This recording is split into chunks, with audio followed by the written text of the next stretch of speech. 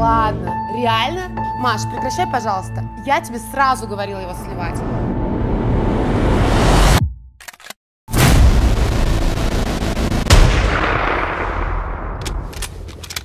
Ну это прикол.